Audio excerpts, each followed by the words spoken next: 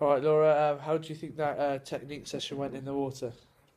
Yeah, I think I um I enjoyed the drills the most. Obviously, like um the sprints. I w- I was obviously I'm more aware of what to do, so that was okay because obviously we'd done that yesterday. But the um the pull, just obviously using my arms, like that was that was tough. Like I did. Yeah. Yeah, that was hard.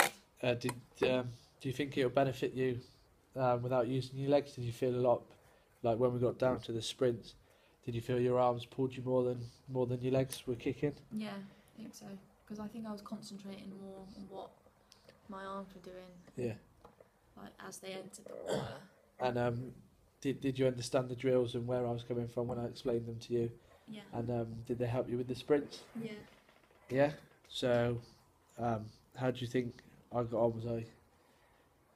Yeah, you obviously you were motivating me still because um, of still got to push yesterday. you through. Yeah, yesterday was a little bit tough, so obviously you stepped it up a little bit, um, even more so. So that was I appreciate that. That was good. Yeah. Yeah.